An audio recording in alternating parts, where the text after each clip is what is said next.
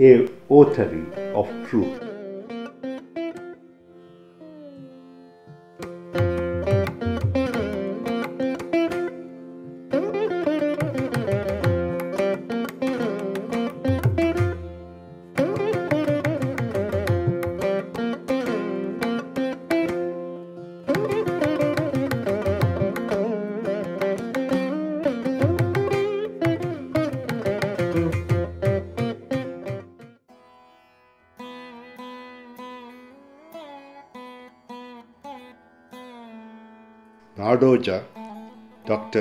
S.R.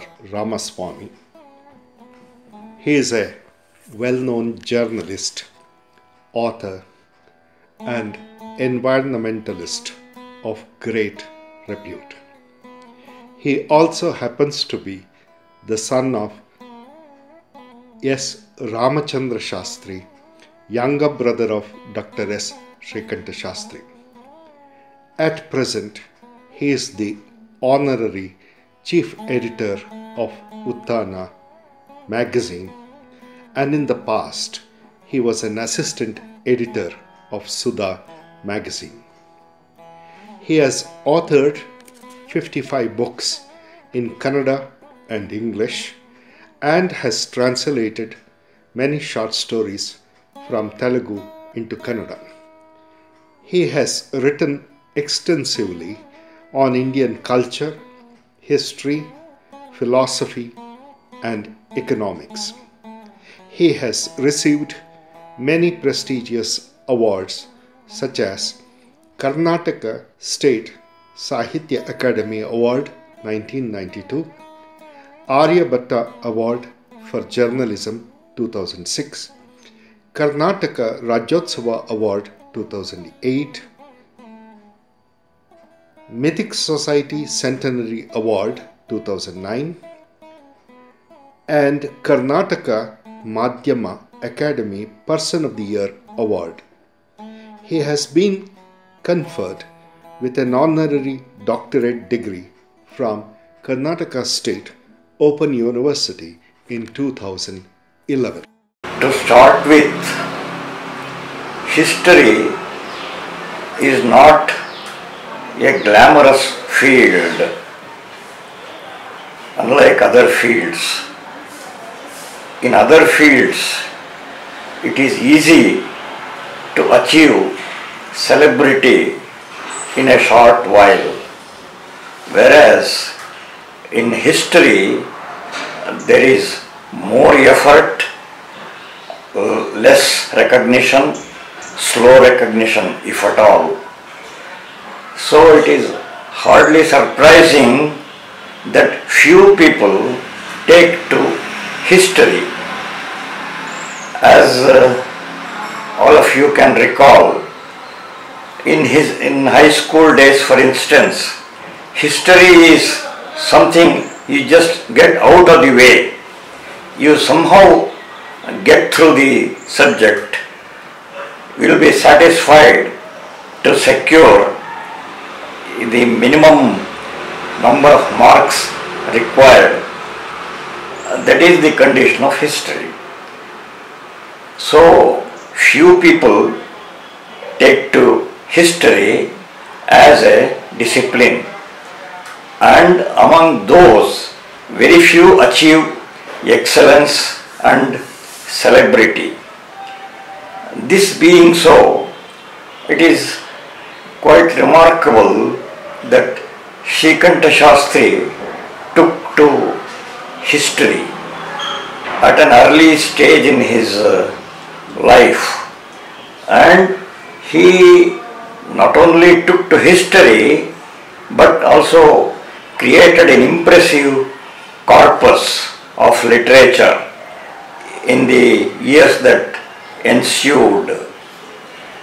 And uh, the, both the quantity and diversity of his output are quite uh, remarkable. Uh, that is, as far as the background is concerned, there is something to say about his personality itself. The basically he was an ardent student of tradition and an ardent admirer of the glorious past. And this is what really led to his subsequent interest in history. Basically, he enjoyed the company of great minds, great savants, and so on. So, history became an avenue for him to keep this interest alive. So, all his uh, other activities they came they came out of this basic mindset of his admiration of the past, his reverence for the past, and then uh, it is mainly his uh, preoccupation with the past which made him take to history, which made him a researcher, which made him a writer and a teacher and so on. Uh, this must be borne in mind. And then even in later years, he was more at home uh, teaching students at an individual level and discussing abstruse uh, historical details with his peers and other scholars and so on than lecturing or handling classes. Naturally, uh, it was a professional requirement that uh, he had to teach uh, many generations of students in fact and also keep alive academically. Uh, that was a requirement. He could not uh, uh, get, away, get out of it's, it was the experience of most people that he was more at home uh, with students at an individual level. Of course, classrooms he did handle well, and then uh, he was known to be systematic in uh, his classroom work. He not only gave adequate uh, information and so on and so forth, he was particular that whatever he taught the students were precisely registered in their minds. So, dictating notes was an essential part of his classroom work. And many of his students, they uh, cherished the precision of the notes that he dictated in the class. And then likewise, he enjoyed discussions with his peers like uh, Professor A. Venkat and another uh, lay researcher M.R. Rajarao and so on. He spent uh, many hours with them discussing rare historical details. And uh, so the basically uh, his comfort level was in study itself and the company of great works. And then all the other activities were extensions of this basic interest. Naturally, uh, the as far as the historical research is concerned, he uh, had to pro the no doubt he did have guidance of others, but even in a sense, even the methodology of history he, evo- he evolved was his own work. Uh, his methodology is something unique and it needs to be explored further now that the corpus of his work is available. That way, the, in our long tradition, the person who come closest to Srikant Shastri, you could say was Fleet. Fleet was such a versatile historian and for all his uh, historical uh, output, he gathered evidence not only from archaeology and epigraphy and so on, but even other sources like literature, astronomy and so on and so forth. Uh, this was something unique uh, in both Fleet and Shrikant Shastri who admired Fleet very much. So Shrikant Shastri had this comprehensive approach to history. All the data he accumulated, analyzed, all his conclusions, they flow from various sources.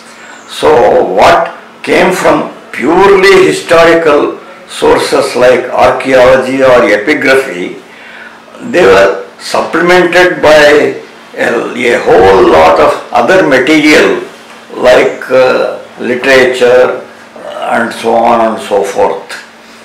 And uh, this uh, gave him a certain confidence uh, in whatever conclusions he drew and the dates he arrived at and so on and so forth. Now the third and last point I should like to draw attention to in regard to Shrikant Shastri is when you take an overall view of his output, what stands out is that he brought out the cultural dimensions of history and historical dimensions of culture. I should like to emphasize this aspect because the in bringing out the cultural dimensions of history, Shrikant Shastri's contribution is probably much more than any other contemporary historian. So now that the corpus of his work is more or less available, uh, I should like people to study Shrikant Shastri's work from these perspectives that I mentioned. One, his background, about the background of the discipline of history. Secondly, his personality as a as an ardent devotee of uh, tradition and the past and so on. And thirdly, his uh, emphasis on the cultural dimension of history.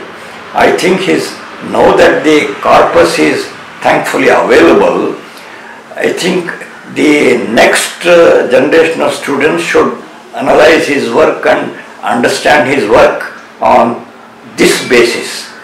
And then while on this point, I should like to express my wholehearted admiration for uh, Shastri's uh, students and his sons for keeping his legacy alive and accessible. His students like Dr. T.V. Venkatachal Shastri, Dr. B.R. Gopal and others have invested much time in uh, making available his work, tracing uh, many of his rare works and speaking and writing on the work of Shrikant Shastri and so on. And his sons, particularly Professor S. Naganath and uh, the late Manjunath, they have put in a lot of effort to gather together this material uh, which uh, which had which was in a scattered condition and thanks to years of effort particularly of Naganath and Venkatachal Shastri and Manjunath and Gopal and others a, the, the most the biggest largest part of Shrikant Shastri's output is now available in an accessible form for which we have to thank uh, these scholars and his children. Uh, so with this, uh, I think I don't have much to say at this point of time. I wanted to emphasize these three aspects uh, indicating the some further directions of study possible in regard to the work of Shrikant Shastri. Thank you.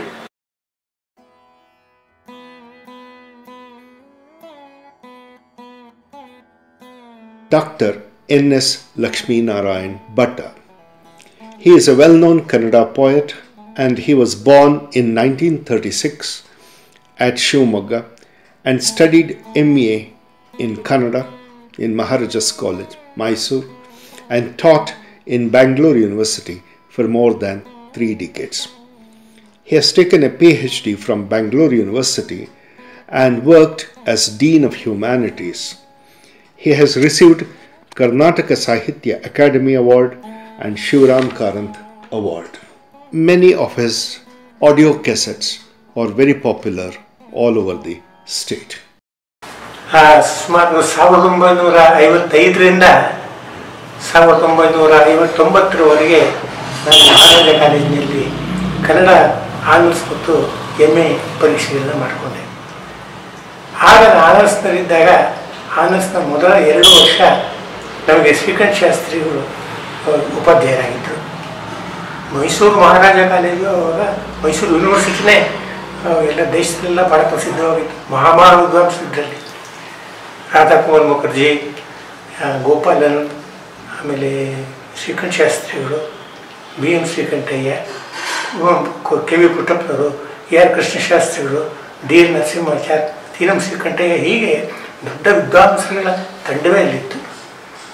ಶ್ರೀಕಂಠ ಶಾಸ್ತ್ರಿಗಳು ಅಂಥ ಶ್ರೇಷ್ಠ ವಿದ್ವಾಂಸರ ತಂಡಗಳು ಬಹಳ ಪ್ರಮುಖರಾದ ವ್ಯಕ್ತಿಯಾಗಿತ್ತು ಅವರು ನಮಗೆ ಎರಡು ಪೇಪರಿಗೆ ಪಠ ಹೇಳ್ತಾ ಇದ್ರು. ಕನ್ನಡ ವಿದ್ಯಾರ್ಥಿಗಳಿಗೆ. ಒಂದು ಕಲ್ಚರಲ್ ಹಿಸ್ಟ್ರಿ ಆಫ್ ಕರ್ನಾಟಕ ಅಂತ. ಅಂದರೆ ಕರ್ನಾಟಕದ ಸಾಂಸ್ಕೃತಿಕ ಚರಿತ್ರೆ. ಇನ್ನೊಂದು ಪೊಲಿಟಿಕಲ್ ಹಿಸ್ಟ್ರಿ ಆಫ್ ಕರ್ನಾಟಕ ಅಂದರೆ ಕರ್ನಾಟಕದ ರಾಜಕೀಯ ಚರಿತ್ರೆ. ಅವರು ಅದರ, ಅದ್ರ ಬಗ್ಗೆ ಹೇಳಬೇಕಂತ ಎಲ್ಲ ವಿಷಯದಲ್ಲೂ ಕೂಡ ಭಾಳ ಪ್ರಾಮುಖ್ಯವಾಗಿ ವಿದ್ಯಾರ್ಥಿಗಳಿಗೆ ಬೋಧಿಸ್ತಾ ಇದ್ದರು ಎಂದೂ ತರಗತಿ ಇವರು ಲೇಟಾಗಿ ಬಂದಿಲ್ಲ ಎಂದೂ ತರಗತಿಯನ್ನು ಮೊದಲೇ ಬಿಟ್ಟು ಹೋದವರಲ್ಲ ಪೂರ್ತಿ ಒಂದು ಪೀರಿಯಡ್ ತರ ಪಾಠ ಮಾಡುವುದು ಬೇರೆ ಅನ್ಯ ವಿಷಯಗಳು ಗೊತ್ತಿಲ್ಲ ಆದರೆ ಪಾಠಕ್ಕೆ ಸಂಬಂಧಿಸಿದ್ದಲ್ಲಿ ಬಹಳ ಮಹತ್ವದ ಅನೇಕ ಸಂಗತಿಗಳನ್ನ ನಮಗೆ ಬೇರೆ ಆ, ನೋಡ್ಲಿಕ್ಕಾಗ್ಲಿ ಓದ್ಲಿಕ್ಕಾಗ್ಲಿ ಸಿಗಲ್ಲ. ಅಂಥ ಸಂಗತಿಗಳನ್ನ ಹೇಳ್ತಾ ಇದ್ದೆ.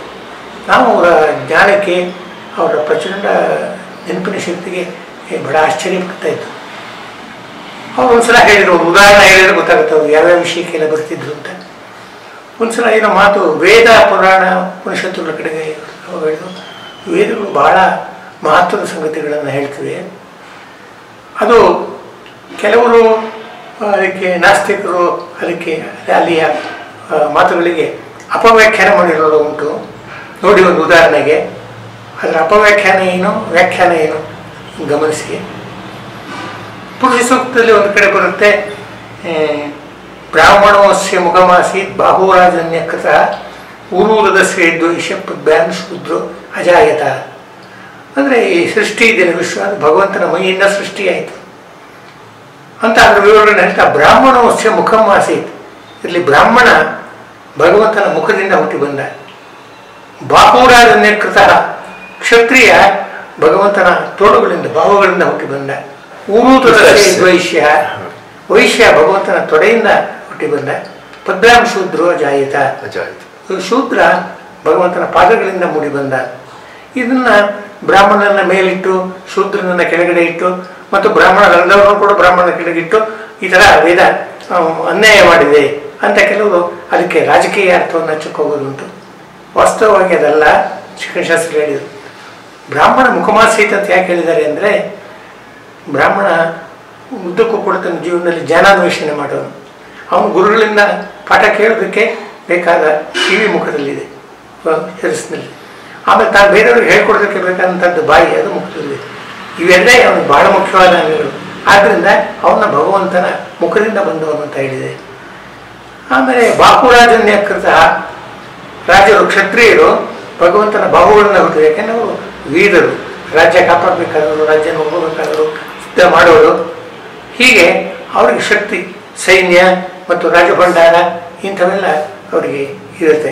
ಅಂದರೆ ಶಕ್ತಿ ಮೂಲ ಅವ್ರದ್ದು ಅದನ್ನು ಅವರು ಭಗವಂತನ ಬಾಹುಗಳಿಂದ ಅಂದರೆ ತೋರುವಂಥ ಶಕ್ತಿಯ ಸಂಖ್ಯೆ ಅಲ್ಲಿಂದ ಹುಟ್ಟಿದ್ರು ಇನ್ನು ವೈಶ್ಯ ಅನ್ನೋನು, ಅವನು ವ್ಯಾಪಾರದಿಂದ ತುಂಬ ಹಣ ಸಂಪಾದನೆ ಮಾಡಿ ಶ್ರೀಮಂತನಾಗಿರೋನು. ಶ್ರೀಮಂತರು ಹೆಚ್ಚಬೇಕಾದಷ್ಟು ಸ್ಥಳ ಇರೋರು ಅವರು ವಿಲಾಸಿಗಳು ಆಗಿರ್ಬೋದು. ಅಂದರೆ ಭೋಗಿಗಳಾಗಿರ್ಬೋದು. ಅಂಥವ್ರು ಭೋಗ ಭೂಮಿಯಾದಂಥ ತೊಡೆ ಭೋಗ ಮೂಲ. ಆದ್ದರಿಂದ ಅವರು ಭಗವಂತನ ತೊಡೆಯಿಂದ ಹೊರಟು ಬಂದರು. ಪದ್ಭ್ಯಾಮ್ ಶೂದ್ರೋ ಜಾಯಿತ ಅಂತಂದರೆ ಶೂದ್ರ ಪಾದದಿಂದ ಹೊರಟು ಬಂದವರು ಭಗವಂತನ ಪಾದದಿಂದ. ಯಾಕೆ ಪಾದ ಅಂತ ಹೇಳಿದ್ದಾರೆ ಅಂದರೆ ಶೂದ್ರ ಅಂದರೆ ರೈತ ಬಡಗಿ ಒಂದು ಸಮಾಜಕ್ಕೆ ಬೇಕಾದಂಥ ಎಲ್ಲ ಪದಾರ್ಥ ಒದಗಿಸೋರು ಈ ಸಮಾಜಕ್ಕೆ ಅನ್ನವನ್ನು ಕೊಡ್ತಕ್ಕಂಥ ರೈತ ಬಹಳ ಮುಖ್ಯನಾದವನು ರೈತ ಇದ್ದರೆ ಆಮೇಲೆ ಎಲ್ಲ ಎಲ್ಲರಿಗೂ ಹೊಟ್ಟೆ ಇದ್ದರೆ ಎಲ್ಲ. ಹಾಗೆ ಈ ಸಮಾಜದ ಪಾದ ಸಮ ಪಾದ ಮನುಷ್ಯ ಸರಿಯಾಗಿ ನಿಂತ್ಕೊಳ್ಬೇಕು ಅಂದರೆ ಅವನ ಪಾದದ ಮೇಲೆ ನಿಂತ್ಕೊಳ್ಬೇಕು. ಹಾಗೆ ಆ ಪಾದ ಎಷ್ಟು ಮುಖ್ಯವೋ ಶರೀರಕ್ಕೆ ಅಷ್ಟೇ ಮುಖ್ಯ ಶೂದ್ರರು ಕೂಡ ಅಂತ ಅರ್ಥ. ನಾವು ದಿವಾಲಿಗಳಿಗೆ ಹೋದರೆ ಭಗವಂತನ ಪಾದಗಳಿಗೆ ನಮಸ್ಕಾರ ಮಾಡ್ತೀವಿ. ಭಗವಂತನ ತೊಡೆಗಾಗಲಿ ಅಥವಾ ಬಾವುಗಳಿಗಾಗಲಿ ಅಥವಾ ಮುಖಕ್ಕಾಗಲಿ ಇಲ್ಲ ಭಗವಂತನ ನೋಡಿ ಅವ್ರ ಪಾದಗಳಿಗೆ ನಮಸ್ಕಾರ ಮಾಡ್ತೀವಿ. ಅಂದರೆ ಅಷ್ಟು ದೊಡ್ಡ ಸ್ಥಾನ ಪಾದಗಳಿಗೆ, ಅಂಥ ಉನ್ನತ ಸ್ಥಾನದಿಂದ ಬಂದವನು ಅಂತ ಅರ್ಥ. ಇದರಲ್ಲಿ ಒಂದು ಕಡಿಮೆ ಅಂತಂದು ಹೇಳಿಲ್ಲ. ಅಂತ ಹೇಳಿ, ನಮಗೂ ಕೂಡ ಮುಂಚೆ ಅರ್ಥ ಎಲ್ಲ ಗೊತ್ತಿರಲಿಲ್ಲ. ಬಹಳ ಆಶ್ಚರ್ಯ ಇದಲ್ಲದೆ ಇನ್ನೊಂದು ನೇನ ನೆನಪಿಗೆ ಬಂತು. ಚಂದ್ರಮ ಮನಸೋ ಜಾತ, ಚಕ್ಷೋ ಸೂರ್ಯೋ ಅಜಾಯಿತ ಮುಖಾತ್ ಇಂದ್ರಶ್ಚ ಗನಿಶ್ಚ ಪ್ರಾಣಾದ್ವಾಯರ ಜಾಯಿತ. ಇದನ್ನು ಯಾವುದಕ್ಕೆ ಉದಾಹರಣೆ ಇಲ್ಲ. ಹಾಗೆ ನನಗೆ ನೆನಪು ಅಂದರೆ, ವೇದದಲ್ಲಿ ಬಹಳ ಕಾವ್ಯಮಯವಾದ ಭಾಗಗಳಿವೆ. ಒಳ್ಳೆಯ ಹೊಸ ಸಾಹಿತ್ಯ ಬರ್ಬೋದಂತ, ತುಂಬ ಶ್ರೇಷ್ಠವಾದ ಸಾಲೆಗಳು ನೋಡಿ ಚಂದ್ರ ಇದಾನಲ್ಲ ವಿಶ್ವದ ದೊಡ್ಡ ಶಕ್ತಿಗಳಲ್ಲಿ ಒಬ್ಬ. ಚಂದ್ರಮ ಮನಸ್ಸೋಜಾತ ಭಗವಂತನ ಮನಸ್ಸು ಬಹಳ ಶಾಂತವಾದದ್ದು, ಪ್ರಶಾಂತವಾದದ್ದು. ಎಲ್ಲರನ್ನೂ ಕ್ಷಮಿಸುವಂಥದ್ದು. ಅಂತ ಶಾಂತವಾದ ಮನಸ್ಸಿನಿಂದ ಚಂದ್ರ ಸಿಡಿದು ಬಂದಂತೆ. ಚಂದ್ರ ಕೂಡ ಶಾಂತವಾದ ಬೆಳಕನ್ನು ಕೊಡುವಂಥದ್ದು. ಚಂದ್ರಮ ಮನಸ್ಸೋಜಾತ ಚಕ್ಷೋ ಸೂರ್ಯೋ ಜಾಯಿತ. ಭಗವಂತನ ಕಣ್ಣುಗಳು ಜ್ವಾಜ್ವಲ್ಯಮಾನವಾದ ಕಣ್ಣುಗಳು, ತೇಜೋಮಯವಾದ ಕಣ್ಣುಗಳು. ಅದರ ಒಂದು ಕಿಡಿಯಿಂದ ಸೂರ್ಯ ಸಿಡಿದು ಬಂದ. ಸೂರ್ಯನಂತ ಶಕ್ತಿ ಭಗವಂತನ ಕಣ್ಣಿನ ಒಂದು ರೇಖೆಯಿಂದ ಸಿಡಿದು ಬಂದ. ಮುಖದಿಂದ ಚಾಗ್ನಿಶ್ಚ ಅವನ ಭಗವಂತನ ಮುಖ ಎಷ್ಟು ಉಜ್ವಲವಾದದ್ದು ಅಂದರೆ ಅದರ ಪ್ರಖರತೆಯಿಂದ ಇಂದ್ರ ಮತ್ತು ಅಗ್ನಿ ಹುಟ್ಟಿ ಬಂತು. ಮುಖರಿಂದ್ರಶ್ಚಾಗ್ನಿಶ್ಚ ಪ್ರಾಣಾದ್ವಾಯದ ಜಾಯಿತ. ಭಗವಂತ ಉಸಿರಾಡ್ತಾ ಇರುವಾಗ ಅವನ ಉಸಿರಿನಿಂದ ವಾಯುದೇವ ಹುಟ್ಟಿ ಬಂದಾನೆ. ಇದಿಷ್ಟು ಕಾವ್ಯಮಯವಾಗಿದೆ. ಅಂದರೆ ವೇದಾಂಗ ಬರೀ ಏನು ಜಲಸಂಗತಿಯನ್ನು ಹೇಳುವಂಥದ್ದಲ್ಲ, ಬಹಳ ಪೊಟಿಕ್ ಆಗಿ ಅಂತ ಅವನು ಹೇಳಿದ್ರು. ಇಂಥದ್ದು ಎಷ್ಟೋ ಹೇಳೋರು. ಈ ವೇದಗಿದೆ ಎಲ್ಲ ಸ್ಟ್ರಿಕ್ಟಾಗಿ ಸಿಲೆಬಸ್ ಫಾಲೋ ಮಾಡೋದನ್ನು ಬರಲ್ಲ. ಅದು ಸಿಲೆಬಸ್ ಹೇಳ್ತಾ, ಅದರ ಆಚೆಗೆ ಹೋಗಿ ಅನೇಕ ಸಂಗತಿಗಳು ನಮಗೆ ತಿಳಿಸಿದ್ರು ಅದು ಬೇರೆ ಎಲ್ಲೂ ನಮಗೆ ಓದಕ್ಕಾಗಲಿ, ಇದಕ್ಕಾಗಲಿ ಸಿಗೋ ಸಾಧ್ಯ ಇರಲಿಲ್ಲ. ಈಗಲೂ ಈ ಥರದ ವ್ಯಾಖ್ಯಾನವನ್ನು ಬೇರೆ ಎಲ್ಲೂ ನಾನು ಕೇಳಿಲ್ಲ. ಇಲ್ಲ ನಾವು ಕೂಡ ಆ ಅಪಪಾಠವನ್ನೇ ನಂಬ್ಕೊಂಡಿರ್ತೀವಿ ವೇದವನ್ನು ಮೃಡವರು ಮಾಡುವ ಒಂದು ಅಪವ್ಯಾಖ್ಯಾನ ಇದು. ಸರಿಯಾದ ವ್ಯಾಖ್ಯಾನ ಹೀಗೆ ಅಂತ ಹೇಳಿದ್ರು ಆಮೇಲೆ ನನಗೆ ಗೊತ್ತಿರೋ ಹಾಗೆ ಇನ್ನೂ ಅನೇಕರು ಹೇಳ್ತಿದ್ದ ಹಾಗೆ ಶಾಸ್ತ್ರಿಗೆ ಯೂನಿವರ್ಸಿಟಿಲಿ ಅನ್ಯಾಯ ಆಯಿತು. ಅವರು ಪ್ರೊಫೆಸರ್ ಆಗಬೇಕಾಗಿತ್ತು ಯಾವಾಗಲೂ ಭಾಳ ಮುಂಚೆನೆ. ಆದರೆ ಯೂನಿವರ್ಸಿಟಿ ರಾಜಕೀಯ ಅದು ಇದು ಕಾರಣವಾಗಿ ಅವರು ಪ್ರೊಫೆಸರ್ ಆಗಲಿಲ್ಲ. ಇಂಡಿಯನ್ ಡಿಪಾರ್ಟ್ಮೆಂಟ್ ಶುರುವಾಗುವಾಗ ಅದಕ್ಕೆ ಬೇಕಾದ ಆ ಡಿಪಾರ್ಟ್ಮೆಂಟಿನ ಸ್ವರೂಪ ಅದಕ್ಕೆ ಬೇಕಾದ ಸಿಲೆಬಸ್ ಎಲ್ಲದನ್ನು ಮಾಡಿಕೊಟ್ಟವರು ಶ್ರೀಕೃಷ್ಣ ಶಾಸ್ತ್ರಿ ಅವರು ನಮ್ಮ ಯೂನಿವರ್ಸಿಟಿ ಆದರೆ ಅದಕ್ಕೆ ಹೊರಗಿನ ರಾಜ್ಯದಿಂದ ಬೇರೆ ಒಬ್ಬರನ್ನ ಕರ್ಕೊಂಬಂದು ಆ ಡಿಪಾರ್ಟ್ಮೆಂಟಿನ ಮುಖ್ಯಸ್ಥರನ್ನಾಗಿ ಪ್ರೊಫೆಸರ್ನಾಗಿ ಕೊಡೋದು. ಇದೆಲ್ಲ ಬಹಳ ಆಘಾತಕರವಾದಂಥ ವಿಷಯ. ಇದಲ್ಲೇ ಅವರು ಬಹಳ ಶ್ರೇಷ್ಠ ಬರವಣಿಗೆ ಮಾಡಿದವರು. ಅದರಲ್ಲಿ ಎರಡು ಹಸ್ತಪ್ರತಿಗಳು ಅವ್ರು ನಷ್ಟವಾಗೋಯ್ತು ಅವ್ರು ಯಾರಿಗಾರು ನೋಡೋಕ್ಕೆ ಅಂತ ಕೊಟ್ಟಿದ್ದು ಕಳೆದ್ರು ಅವರು. ಪ್ರೆಸ್ಸಿಗೆ ಕಳೆದು ಕಳೆದೋಯ್ತು ಪೋಸ್ಟ್ನಲ್ಲಿ ಏನಾದ್ರು ಹೆಚ್ಚು ಕಡಿಮೆ ಆಯಿತು ಗೊತ್ತಿಲ್ಲ ನನಗೆ ಸರಿಯಾಗಿ. ಆದರೆ ಅವು ಕಳೆದೋದು ದೊಡ್ಡ ನಷ್ಟವೇ ಇದು ಇಂಥ ಎಲ್ಲ ಆಘಾತಗಳಿಂದ ಅವರು ತುಂಬ ಒಳಗೆ ಮನಸ್ಸಿನಲ್ಲಿ ಅವರು ವ್ಯಸನ ಪಟ್ಟಿರ್ಬೋದು ಅವರಿಗೆ ಭಾಳ ಅವ್ರು ಓದ್ತಾ ಇದ್ದಿದ್ದರಿಂದ ಕಣ್ಣು ಮಂದವಾಗಿತ್ತು. ಯಾವಾಗಲೂ ಅವರು ಅಭ್ಯಾಸದಲ್ಲಿ ಅವ್ರ ಮನೆಗೆ ಗೊತ್ತಿತ್ತು ತಂಗಿ ಅಂತ ಎಲ್ಲರೂ ಮೇಲುಗಡೆ ಮಾಡಿ ಬೆಳಕಿರ್ತಿತ್ತು. ಮತ್ತು ದೂ ಎದುರುಗಡೆ ಮನೆಯಲ್ಲೇ ನನ್ನ ಸ್ನೇಹಿತರು ಬಂದೆ ಅವ್ರ ಮನೆಯಿಂದ ಅವ್ರು ಕೂತಿದ್ರು ಕಾಣ್ತಾ ಇತ್ತು, ಓದ್ತಾ ಇರ್ತಿದ್ದು ಸ್ವಲ್ಪ ಕಣ್ಣು ಮಂದವಾಗಿತ್ತು. ದಪ್ಪಗಾಗಿ ಕನ್ನಡಕ ಹಾಕೋತಾ ಇದ್ರು ಅವರು. ಆಮೇಲೆ ಕಿವಿನೂ ಸ್ವಲ್ಪ ಮಂದವಾಗಿತ್ತು. ಬೇರೆಯವರು ಮಾತಾಡೋದು ಸರಿಯಾಗಿ ಕೇಳಿಸ್ತಿರ್ಲಿಲ್ಲ. ಆವಾಗ ಅವ್ರ ಜೊತೆ ತಾವು ಮಾತಾಡೋದು ಕಷ್ಟ ಆಗುತ್ತೆ. ಅದಕ್ಕೆ ಅವರು, ಆ ಸುತ್ತಮುತ್ತಲಿದ್ದಂಥ ಒಂದು ಸಂಪರ್ಕವನ್ನು ಕಡಿಮೆ ಮಾಡಿಕೊಂಡಿದ್ರು. ನಮಗೂ ಕೂಡ ನೇರವಾದ ಒಂದು ರ್ಯಾಪೋರ್ಟ್ ಇರಲಿಲ್ಲ. ಇದೇ ಕಾರಣವಾಗಿ ಅವ್ರು ತಮ್ಮ ಕೆಲಸ ಮುಗಿಸ್ಕೊಂಡು ಹೊರಟು ಬಿಡೋರು ಡಿಪಾರ್ಟ್ಮೆಂಟಿಂದ ಭಾಳ ದೊಡ್ಡ ವಿದ್ವಾಂಸರು ನನಗೆ ಗೊತ್ತು. ಅವ್ರದ್ದು ಅವ್ರ ಭಾರತೀಯ ಸಂಸ್ಕೃತಿಯ ಪುಸ್ತಕ. ಬಹಳ ಕಾಲ ಇತ್ತು. ಅದನ್ನು ಓದಿದ್ದೇನೆ ನಾನು. ತುಂಬ ವಿಷಯಭರಿತವಾದಂಥ ಬರವಣಿಗೆ. ಅಲ್ಲೇನೂ ಒಂದು ಸ್ವಲ್ಪನೂ ಸ್ಥಳ ಅನಗತ್ಯವಾಗಿ ಬಳಸಿದ್ದಿಲ್ಲ. ವಿಷಯಭರಿತವಾದ, ಪೂರ್ತಿ ವಿಷಯ, ವಾಕ್ಯವಾಕ್ಯಕ್ಕೂ ವಿಷಯ ಅಂತ